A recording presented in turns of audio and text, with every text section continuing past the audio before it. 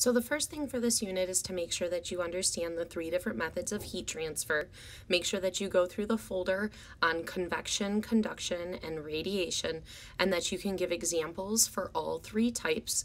Remember that convection is going to be caused by the warmer molecules rising up and the cooler molecules sinking down due to differences in density. So this is going to happen in fluids. With conduction, two materials have to actually contact each other so that the molecules are transferring that heat energy by colliding with each other. And then radiation, this is going to be radiant energy released in the form of waves, and it can travel through vacuums and space.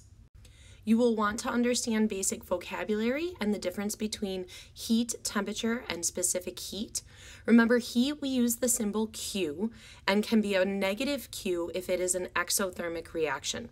Heat is measured in joules, whereas temperature is measured in degrees Celsius and is an average movement of the molecules within the substance. Specific heat is calculated in joules per gram degrees Celsius, which means that you're looking at how much heat energy in the form of joules, um, in the unit of joules, is going to be needed to raise one gram of that particular material by one degree Celsius. Each material has a different specific heat, and that is because the energy transfer for that particular material is going to be different from another material. When we look at potential energy diagrams, we want to be able to read them as being exothermic or endothermic. We want to be able to read the energy of the reactants, which in this case is going to be 200. We want to be able to understand that the activation energy is how much energy we need to add to those reactants to get the reactants activated. At that point, we call it the activated complex. So this particular graph is going to require 200 kilojoules of energy in order to get activated. The energy of the activated complex is 400 joules. After the reaction occurs, the energy of the products then tells us if this reaction is an exothermic or an endothermic reaction. If the energy is lost from the reaction, then it is an exothermic reaction and energy is exiting. If energy is gained, then it is an endothermic reaction and energy goes in, and our products have more energy at the end than our reactants did at the beginning. In addition to that, you should be able to calculate the enthalpy of the reaction by taking the energy of the products and subtracting the energy of the reactants you should be able to look at the specific heat of a material and determine if the material would be a good conductor or a good insulator. Remember that specific heat is how much energy is necessary for one gram of the material to raise in temperature by one degree Celsius. So if a material has a very high specific heat, it's going to require a lot of energy to change the temperature. That also means that that material is going to cool off slowly. If a material has a very low specific heat, like lead, then that means that that material is going to require less energy to change in temperature and will change temperature much faster than something with a high specific heat.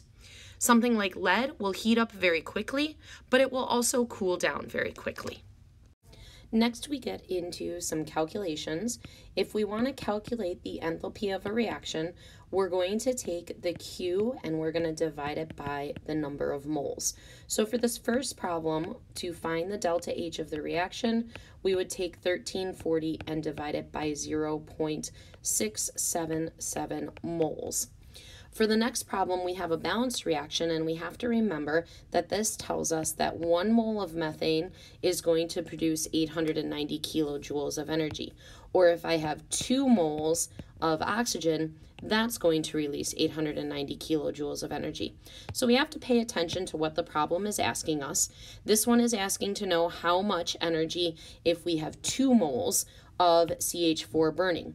Well, according to my balanced reaction, one mole of CH4 is going to release 890 kilojoules. Well, we want to know what if we have two moles of CH4. So if I multiply this by 2, that's going to tell me how many moles or how much energy 2 moles will make. In the case for letter C, we're given grams. Well, we have to remember the balanced reaction only tells us the relationship between how many moles makes how much energy. So my first step, if I'm given grams, is going to be to convert this to moles. So I can look on my periodic table and find out how much one mole of CH4 weighs, which is right around 16.05 um, grams. So I can take my 13 grams of CH4 that I have, divide it by the mass of one mole, and I will find out how many moles of CH4 I have, and then I can multiply that by the relationship that one mole of CH4 is releasing 890 kilojoules, and I can solve my problem for letter C. You should be able to recognize that when we look at a chemical reaction, if our product is energy, if our energy is on the product side, then that means energy is coming out. If the energy was over here on the reactant side, then that would mean that energy is coming in. So that makes this an exothermic reaction. Um, the balanced equation tells me that one mole of CH4 is going to release 212.8 kilocalories. Well, I need to make a lot more energy than that. I need to make um, 598,000 kilocalories of energy. Well, according to my balanced reaction, one mole of CH4 is going to produce 212.8 kilocalories. So to solve this, I can simply take 598,000 kilocalories and I can divide it by the 212.8 to find out how many moles of methane I'm going to need. On the next problem, it wants to know how many moles of oxygen are used if I need to make this much energy and how many grams would that be. So this time I'm looking at a different piece of information. I'm looking at the fact that it says 2 moles of oxygen is going to produce 212.8 kilocalories of energy.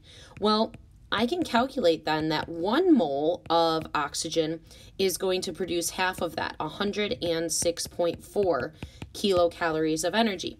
Well, I need to produce 445 0.2 kilocalories. So I'm going to divide that by 106.4 because one mole is going to produce that much energy. And that's going to tell me how many moles of oxygen I'm going to um, need. And then I can convert that to grams because one mole of oxygen, according to my periodic table, weighs 32 grams. And that will help me find out how many grams of oxygen. The last problem here works the same way.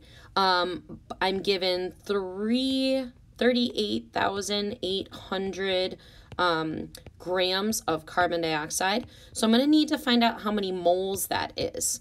Because remember, our balanced equation only tells us in terms of moles. So one mole of carbon dioxide produces that much energy. So I look on my periodic table, I find that carbon dioxide weighs right around 44.011 grams. So my first step is going to be to take the 38,800 grams and divide it and find out how many moles.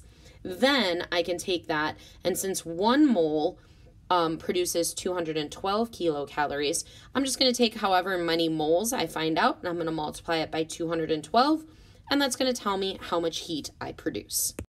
Finally, you should be able to solve problems with Q equals M shot. So when you read the problem, you're going to want to pick out each of the different pieces of information so that that way you can lay out the problem and solve using the equation of Q equals M shot. So I've laid out each of my variables based on what my problem says, and then I'm going to set it up and solve for my C. So you can see my setup here so that I can isolate my C and I can solve for C by taking 1,286.75 and dividing it by whatever 25.75 times 110 is. Again, the best thing to lay out a particular problem is to pick out each of your different pieces of information so that then you can uh, lay out your problem. You want to remember that the Q of the water is going to be equal to the Q of the metal. And so in blue here, you can see that I have laid out in blue the Q of the metal. The mass of the metal is 80 grams. The temperature change of the metal is 70.8 degrees. And we do not know the specific heat of the metal. That's what I'm trying to solve for. In terms of the water, I know the mass of my water. I can calculate the temperature change of my water.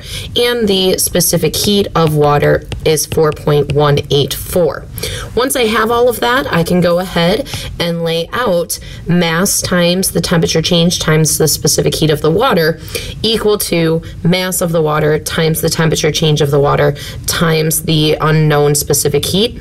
And then I can solve for this piece. So I'm going to have to do some basic algebra. I'm going to need to divide both sides what by whatever 70.8 um, times 80 whatever the product of that is. I'm going to divide the product of this, and that is going to allow me to solve for C for this problem. And that'll tell me the specific heat of my metal.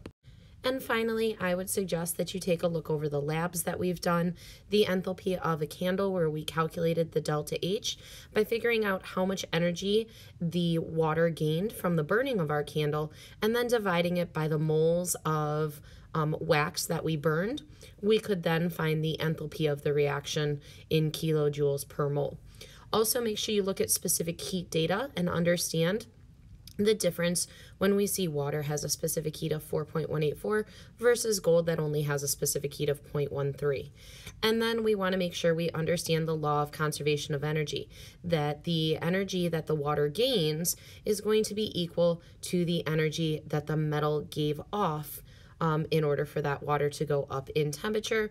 Or if we were looking at a chemical reaction, um, the water could go up in temperature or down in temperature, depending on the energy of the reaction being exothermic or endothermic.